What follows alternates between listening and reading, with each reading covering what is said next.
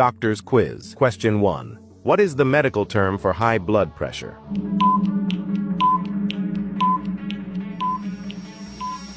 The correct answer is hypertension.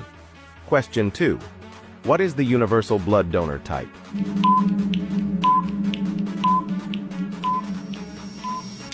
The correct answer is O negative. Question 3.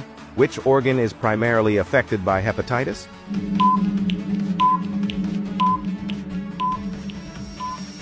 The correct answer is liver. Question 4.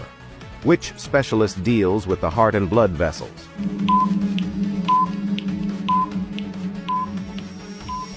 The correct answer is cardiologist. Question 5. Which test measures the electrical activity of the heart?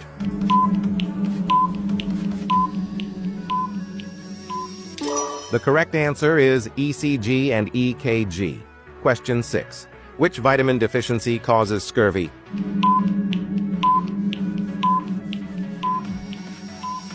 The correct answer is vitamin C. Question 7. What does BMI stand for in medicine? Drop your answer in the comment box.